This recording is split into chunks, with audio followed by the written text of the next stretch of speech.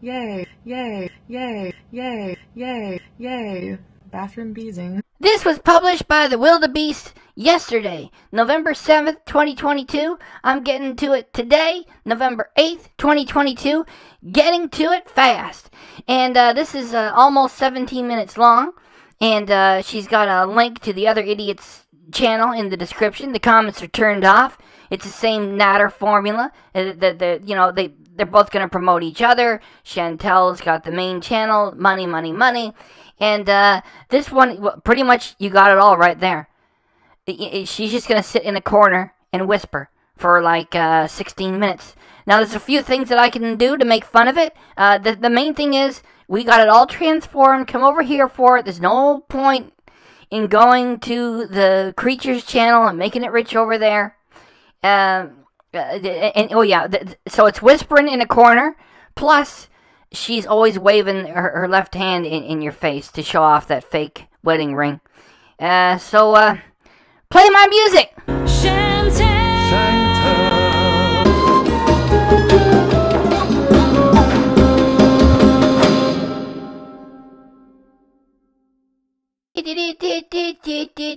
I'm not gonna play her music. I'm not gonna lose my monetization. Hey guys, welcome back to another video.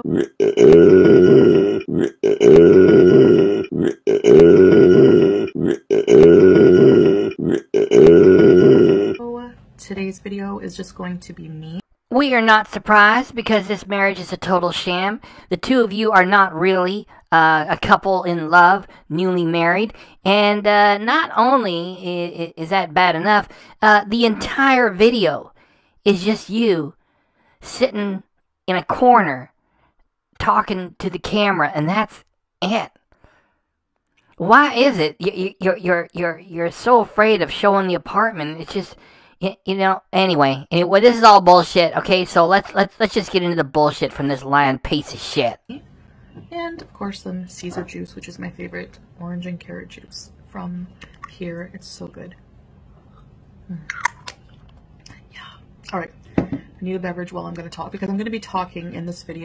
Yes, of course, Chantal. This is a sit down and have a real talk, for real, for real, for real sort of uh, production. Uh, that doesn't come from dishonest lying pieces of shit such as yourself, you fucking creature. This is like, let's keep lying to the beezers. It's working. I'm making money by using YouTube as a place to tell lies.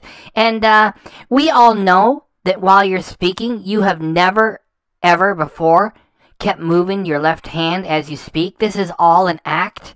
Like I keep saying, you're a liar, yet you're no mastermind and you're always a bad actress. It's a sit down and talk video.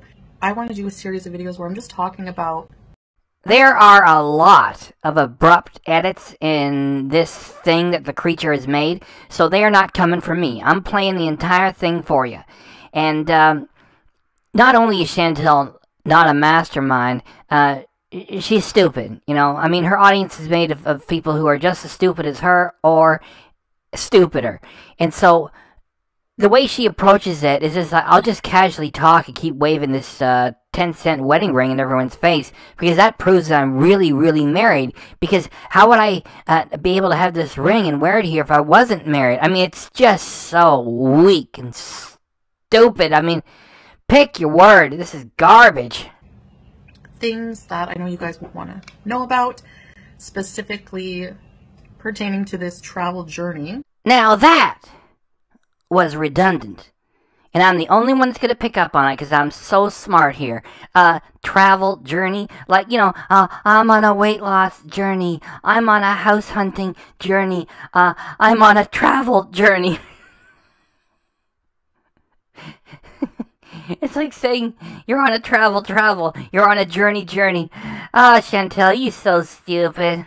Because I do see a lot of comments, uh, people wondering, being my size, as big as I am. That is not what we are wondering about. We've already forgotten about that. We know that you're the size of a hippopotamus and somehow you wore a diaper and pissed yourself and made the, the journey there. Uh, we've forgotten about it. no one's talking about that. What we're talking about is that uh, uh, you're not going to the malls. Uh, this guy is not hugging and kissing you. There's no uh, footage of any wedding ceremony. There ain't no uh, extended family of Salah hugging and kissing you and welcoming you to the family. Uh, he takes you out in the middle of fucking nowhere. Uh, you know, everything is, is sus and weird. Uh, that's what, what, what people are asking questions about. And uh, over here at this channel, we know this is all bullshit. you know, you ain't married, not for real, for real.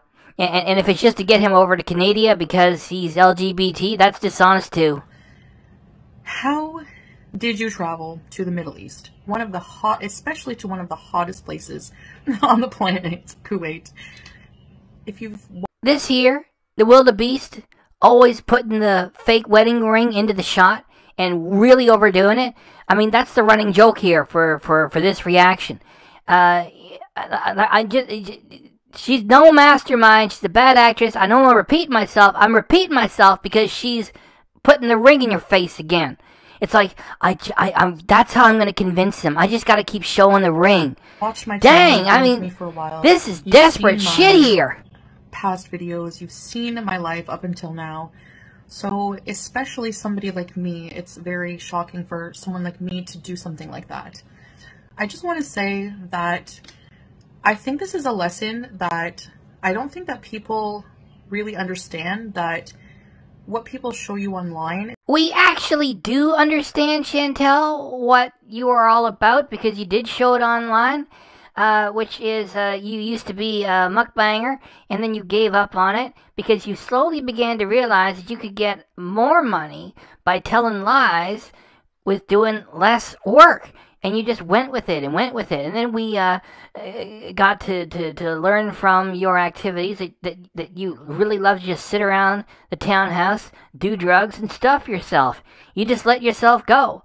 And uh, as long as you were walking around the townhouse getting high and ordering shit to eat, you figured, I'll turn the camera on.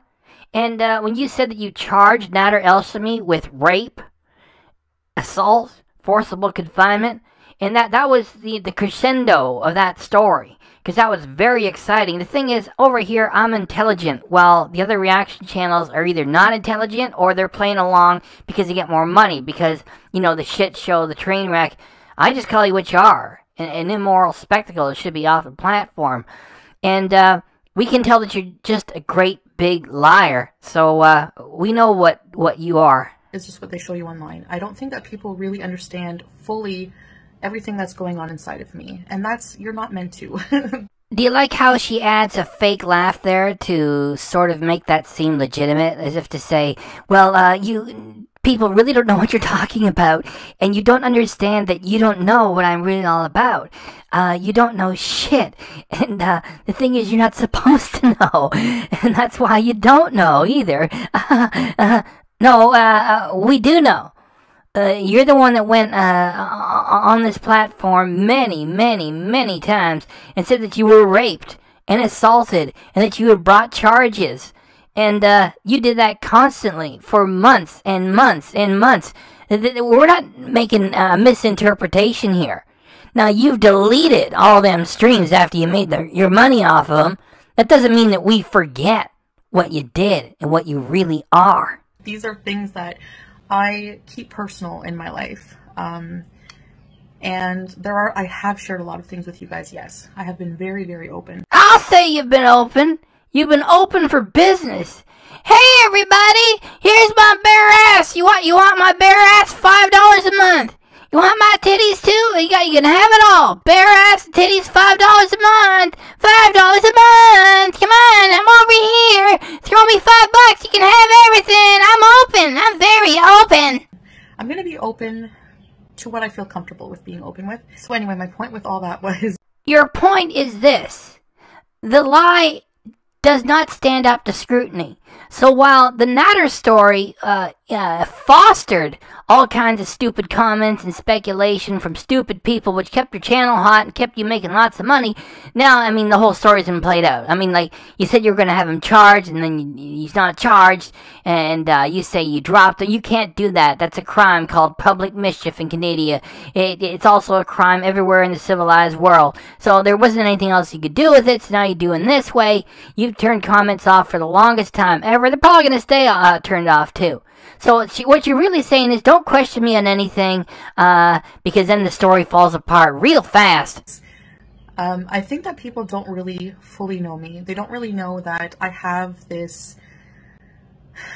That little move she just did? That was acting. Bad acting.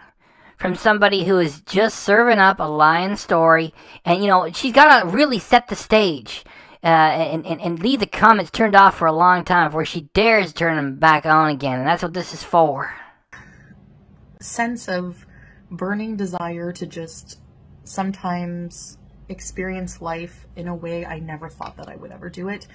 And what do you mean by that, you lying turd? So instead of having a burning desire to stuff yourself with Burger King in Canada, you go to Kuwait and have your paid actor bring you the same shit in a different country. You're Burger King, baby. Then, after you get your giant bag of shit, you eat it in a different way, which is a total acting job for a monster such as yourself. I've done a lot of walking, I deserve it. Beauty bite. By the way, let me thank you for uh putting that ring into the shot one more time. Well, at least up to this point, that is. You're gonna keep doing it for the rest of this lying garbage video that you made. And I, that's how I like to live my life. Kind of spontaneously, just, you know, just crazy life. I oh, Chantal, what a crazy life that you have. We know that you're nothing more than a fucking good-for-nothing, boring, boring, boring, boring stoner in a townhouse telling lies and dirty stories morning, noon, and night and for some reason you're getting away with it. I guess you can make fun of the slaughter of kids in the United States of America, and you can make fun of the tragedy in America of 9-11, and an American-based company allows you to get away with it. I do not know why. Like I said, you're just an object lesson, and there's something positive that we can take from it. There is. That when we encounter things such as yourself in our own lives, that we need to just cut them off and stop giving them chances. I love it. I love having a crazy life. All right. So this part one, or episode one, is going to be talking about my experience with the actual... The more that you keep putting that thing into the shot to say that you're stupid beezers, look, this proves it. I'm really married. Everything's for real. We're totally in love. We're a couple for real. This is a legit marriage. The more you're just proving to the smart people here at this channel that it is a desperate lie job. Traveling as an... Uh, obese person, overweight person, and uh, anything from the how I handled the heat, uh, the seats, and just all of the extra activity. Uh, basically, again, if you're kind of new here, uh, or just a reminder, I'm a person who has come from a very sedentary lifestyle. Uh, I'm from Canada, and I not used I don't I'm not, a person who loves the heat. I'm not a person who loves activity and all of those things that I have to do here. But I am a person who does love to challenge myself when I feel the time is right. I have done that in my past, and I'll get into that now. So just a bit of a history with flying. Um, I know that flying fat is a huge topic for people who are overweight. It's a big anxiety. Traveling when you're overweight, uh, doing anything when you're uh, excessively overweight is extremely difficult uh, for a lot of people, including myself, and it makes traveling extra difficult, of course. I first went on an airplane when I was 10, and I was a pretty chubby kid, but I don't really remember the experience other than just my ears being blocked and my mom giving me chewing gum and, and insisting, insisting, insisting, chew gum, chew gum, your ears won't block. Sorry, I, I talk a lot with my hands, I know. I'm, I'm very, very happy, and I really love this Arabian gold. Just putting that out there. Yes, I'm showing off my ring. I was 10 and we were going to Florida to visit my grandfather who resides in Florida. And that's all I remember about the flight. I wasn't terribly nervous. Now, fast forward to about 2001, I had traveled around Canada in a program called Katimavik, which was funded by the Canadian government. At the time, they would pay for youth to get out of their house and experience Canada, do something different, do some volunteer work. So I, I would volunteer um, 40 hours a week, actually, um, in Katimavik. And I remember purposely pushing myself to do this. Uh, no one in my family believed that I would go for seven months, travel around Canada as a 17 year old uh, alone. Um, I was homesick at first. I do have some series on that on my channel and some videos, but um, that was the second time I had to use an airplane a couple of times. And it was a small plane. I remember that. I was 200 pounds, I think approximately 200 pounds at the time. Now, I don't remember feeling much anxiety about flying or about the seatbelt or anything like that. Um, 200 pounds is still not terribly super obese to the point where you won't fit on a plane or you fear that you, you won't fit in public transportation. And actually that brings me to my point where I, you don't actually worry about fitting anywhere until it actually happens, that dreadful, embarrassing moment Sorry, I need some juice. The juice and the pickles here, top notch. So over the years, I my weight increased, increased, increased over the years. And it got to the weight that it was, which was very excessive. Thanks for being so open with us, Chantal. Uh, your weight was not very excessive. It is very excessive. And you're saying very excessive because we cannot trust you for a real way and you lie about those things. And even though the filters are working to reshape uh, your face, whenever you would lean over and push back, we could see you're shaped like a pile of shit. Literally shaped like a pile of shit emoji. And we don't expect you to be uh, telling the truth anytime soon. Um, especially for health and everything else like that. Um, you guys know I'm a person who's all about body positivity, loving who you are regardless. Does this thing believe that simply by telling lies it can wipe out what it really is and what it's really said and done for years? For an audience of idiots, yes, I guess it does work. Chantal body shames, age shames, appearance shames. She even penis shames uh, guys that she pretends she's been with just to give herself some uh, scintillating talk to offer on her Lion channel and it's just going to carry on. I mean, like, uh, where is her loving husband? How, how come they're not so into themselves and having a honeymoon? Instead of that, she's sitting here in a corner whispering to the camera, telling lies, as usual. Of your shape, size, whatever. But um, when it comes to damaging your health, that's a bit uh, of a different issue for me. But regardless, I do still think that people, while they're dealing with their health issues, have a right to be comfortable and happy traveling and living life and not feeling like a complete outcast. But um, so uh, I did travel to Cuba. That was the first trip um, in April where I was feeling some anxiety. Okay, I'm going to say I was as terrified as I've probably been thinking about a flight. Uh, I was, you know, I would. Just want to take a moment here to uh, chat with you guys to say that uh, this material is boring, and you know what what she's trying to do here is just try to act like a normal human being, both of which she is not, and, and uh, so it's it's just setting the stage. You know, it like this is dull, and she's talking about, oh, this is what it's like. Uh, to be a fat uh, a fat Canadian, as if it makes any difference to be you know to be from Canada that with some way the fat is different and the traveling was very difficult. If you're wondering it certainly it's just you see look the act of her sitting here pretending to have a real talk that's what what what what's what you know it's like what they sometimes say you know it, it's it's it, it, it it's not what we teach you that you'll learn it's what we don't teach you that you'll learn like when you go to public school i mean you're really being taught to get up at the same time every day and not to cause problems and ask questions and be a troublemaker, you know, and then after you leave school, you vote for one of the two political parties and, you know, you, you don't make waves and, you know, it, it's sort of like that. So this video that she's making is not about the fat story. It's about her sitting there and pretending to be a normal human being. And uh, that's why it's so boring. You know, she's got a, a lot more garbage coming for the holiday season, big cash in. That's why this is so boring. So don't blame me for it. Preparation, I would like obsessively just look for seats that, you know, maybe a window seat, maybe at the back, no one will sit beside me. I was hoping, you know, am I going to have to buy two seats? Just all these anxieties were flooding in my brain. I'm getting at people were, you need two seats, you need two seats. Don't, don't, don't put yourself on someone else. Don't, you know, don't take up space. Don't take up space. No, I'm going to tell you, never be afraid to take up space. Take up space, all right? Enough. However, um, when I got on the plane uh, for Cuba, the Sunwing plane, I did do a video on that, but it was just, that was my first experience. I think that broke the ice for me and I kind of expected all economy seats to be kind of similar standard size. Now, I'm an apple shape, so from the side I'm more larger than wide like this. I don't have very wide hips, so I carry most of my weight in my abdomen.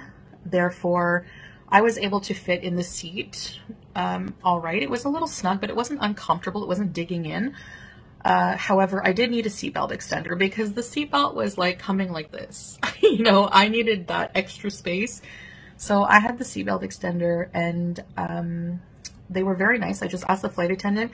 Now, those are things that if you are embarrassed to do because people did look at me, like literally the plane was like already filling up and the the stewardess was kind of like busy a little bit and I had to just kind of like say, "Hey, can I have a seatbelt extender?" And everyone watched me ask her, like everyone. So, and and that to me, honestly, I guess I'm just lucky. I just don't place. I've learned over the years. I guess it's taken a bit of mental work, I guess, but I've just always just never really cared too much about what people think about me in public. You guys know that.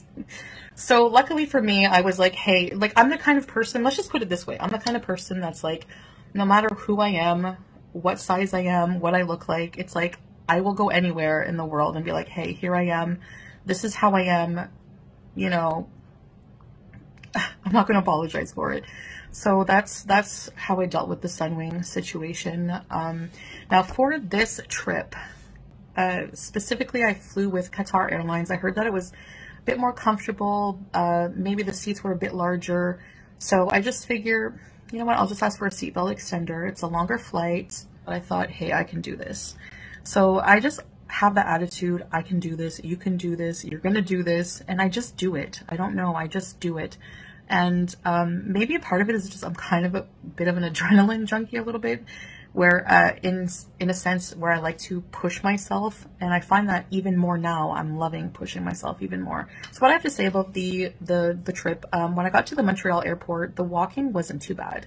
It wasn't too far. I had to walk to the uh, check-in uh, with Qatar Airlines in the Montreal airport. Now leaving Canada was where all of the I need to walk everywhere happens and, and things just get more um, harder and hotter as as I travel. So I got on the plane and my seat was like way at the back, and I heard someone say in the the stewardess say like we have a full plane. So I kind of like oh, looked at the seat beside me and I thought, oh no, 12 hours with somebody that I don't know and like maybe a strange person. I don't know. So, but I knew it was a possibility. So, but I had a window seat. That was the best thing for me because I love looking out the window. Um, and of course right at the back near the lavatory because I want to avoid just having to walk down long aisles through people. Um, maybe that is a little bit of an insecurity. I just, I don't know, but I just, yeah. Um, the lavatory, you're all wondering about the lavatory in the planes. Um, actually, it's actually big enough. Like the door, I thought the door was only this big, but it's actually, there's two doors like that and they fold in half. So you take the the door and you just open it and it folds open and then you close it behind you. And actually the lavatories in the Qatar Airlines bathrooms are actually really nice. They have like air, uh, eau de toilette and everything. They have like everything. And um, there was enough room. It was a little snug, but I actually had enough room to like stand up and move around and wash my hands and everything. So I was like, yes, okay. Um, so that was good. Um, I did actually get to check out the bathroom because that honestly airplane bathrooms this is But yeah, it like freaked me out. I was like, oh my god, what if I get stuck? Or I don't know. It's just like all these irrational thoughts just poured into my brain. So, but because I was at the back near the lavatory, um, I actually got to talk to a lot of nice people because um, I actually made friends with a nice Iranian woman.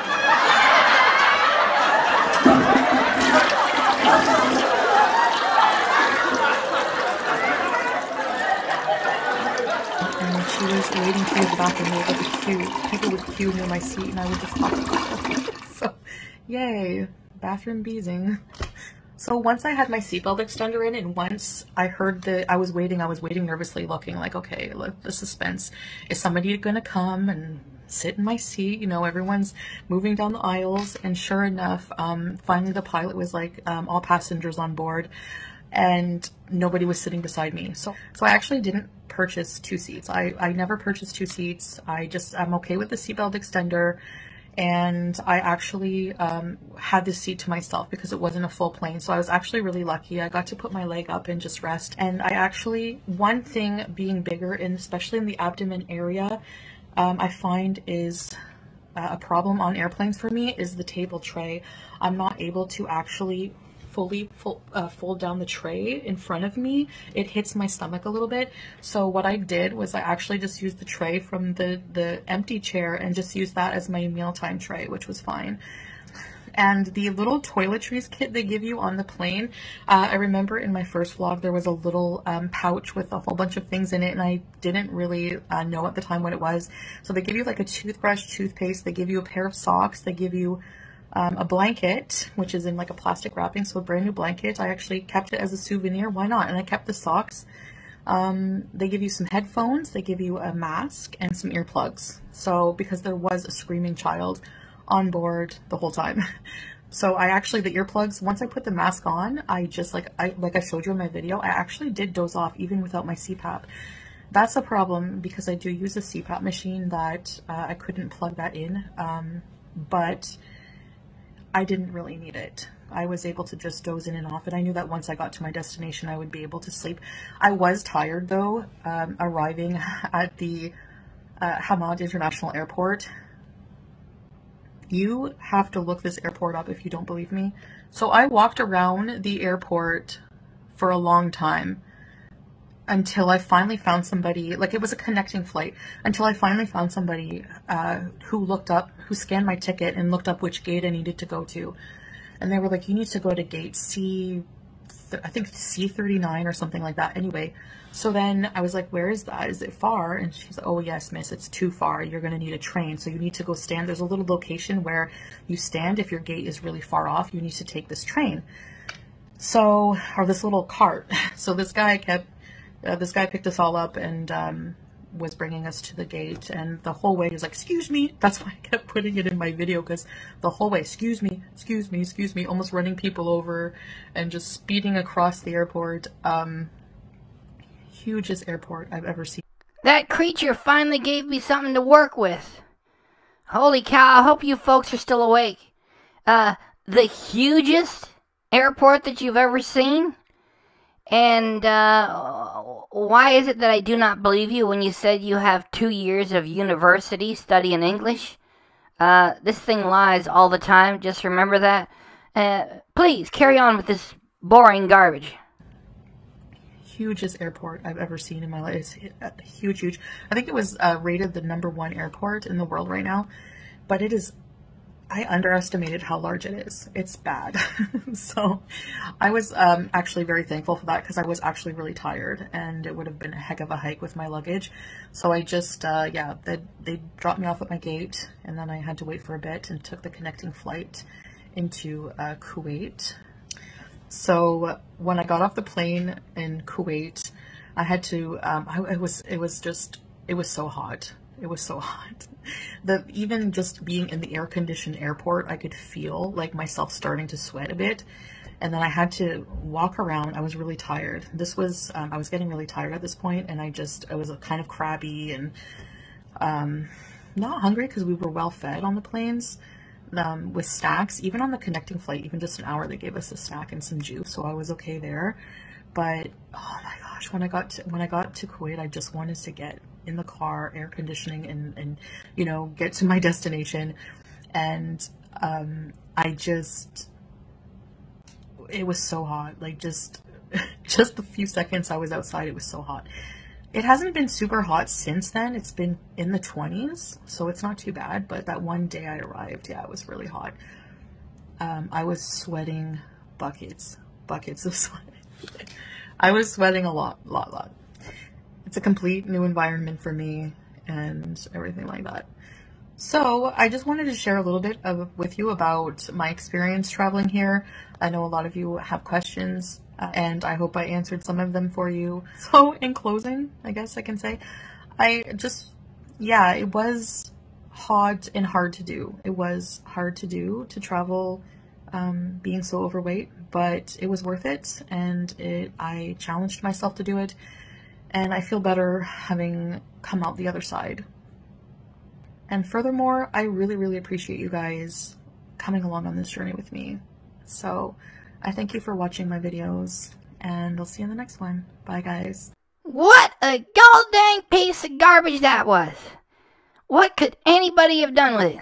Well, I think we had a bit of fun with it, and we just documented how bad it was. The only vibe I'm getting off this creature is that this is another grift. It's got to be pushed through, and it's just yeah blah blah blah blah blah blah blah blah fake voice blah blah blah. Then I did this. Wait wait wait wait wait. Then I did that. Then it's, wait wait wait. Did you just create like uh, almost 17 minutes of content when there's not really anything going on? I mean, you were ex- uh, promising all this exciting content, and, and that, that's what you're, you're giving us. The, the, the only the, the, there's no way this thing has just married her her, her man, and they're a, a couple in love. I mean, if if this was was for real, because those of us who got some experience and who are adults, we know that she wouldn't even be bothering to make these videos. She would just be on the honeymoon with him, meeting his family. They'd be uh, spending time with themselves. She doesn't need the money. She could take like two weeks straight off and just, you know, be with him if any of this was real. It's just so weak. I mean, and it's just, it's going to appeal to, to Beezers who believe this. Uh, you know, you hang around here. Like, get in on the fun. This was terrible. So, Please share your comments. And if you think I did a good job, you might even want to hit the thanks button, please. And, uh, well, yeah, get in on it. Make a comment, please. And, well, uh, that's it. Thanks for coming by.